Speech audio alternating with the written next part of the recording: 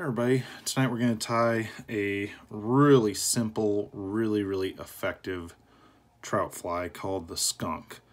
Uh, this is this version is called the cryo skunk. It's a fly we sell in the shop. It's based on a kind of a classic Michigan fly that uses some basic materials and some rubber legs and gets a lot of trout to chase and eat.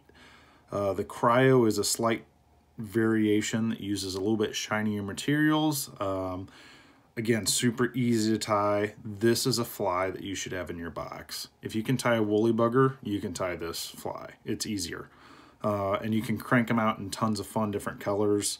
Tonight we're going to tie olive, but uh, we have them in purple, in yellow, in black, and you name it, uh, tan, all sorts of fun stuff. So it's worth having check them out. Uh, go fish them. I dare you to go fish this thing because it will catch some fish.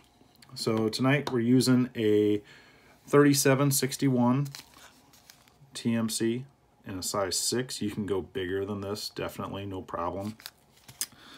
I'm using about 15 wraps of lead-free wire here. This is 0.025, but use what you have.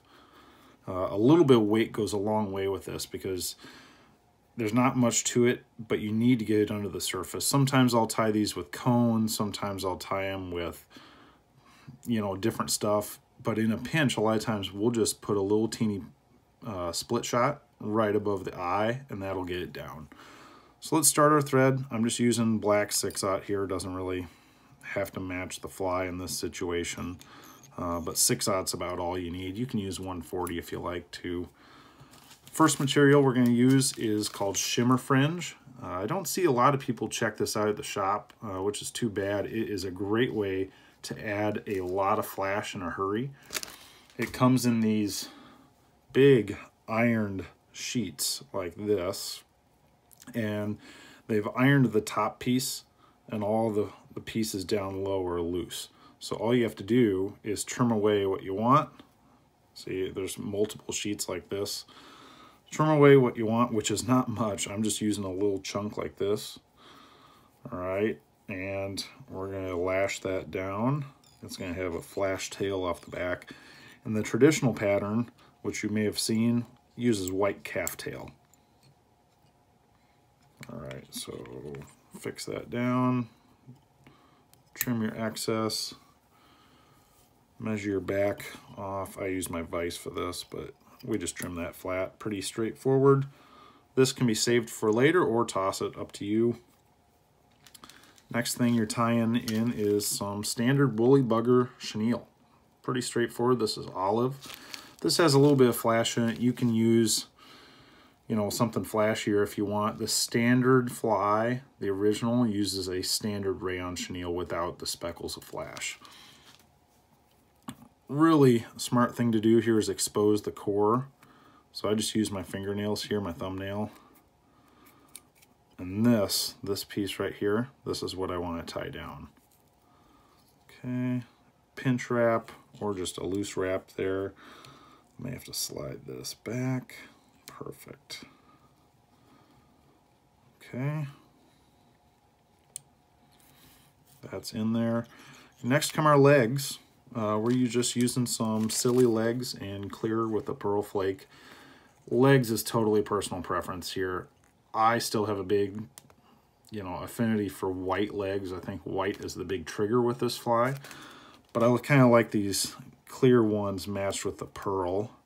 And what I'm going to do here is take one leg, fold it in half, trim it. I'm using one leg at a time here.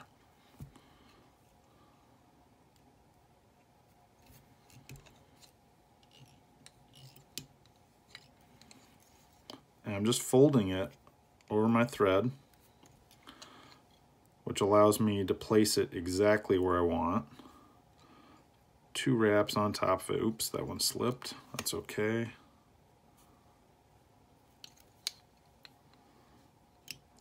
You can wrap in front, you can wrap on top of, doesn't matter. Fold those out of the way. Wrap up over your wire, create a little thread dam up top. I super glue my wire in so it doesn't like to go many places, but you may want to do that. Then at the very front of the wire, one more set of legs, just like we did in the back.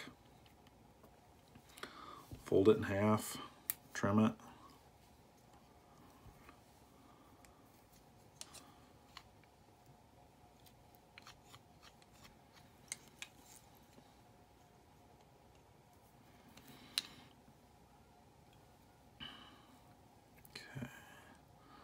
Make sure you get those secure, fold them back, wrap your thread to the eye, or just before it, about an eye length back, because we're gonna tie off that woolly bugger chenille and create a thread head at the end.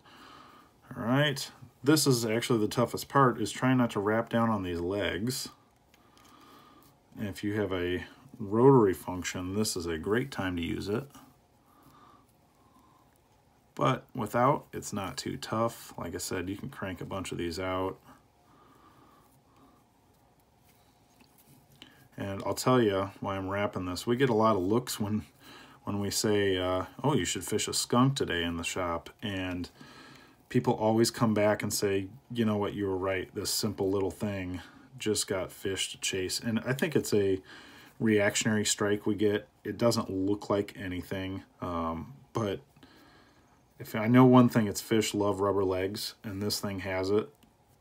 And yeah, it looks silly, but uh, it's saved the day for a lot of guides over the years, and uh, it continues to be just a staple in all of our fly boxes.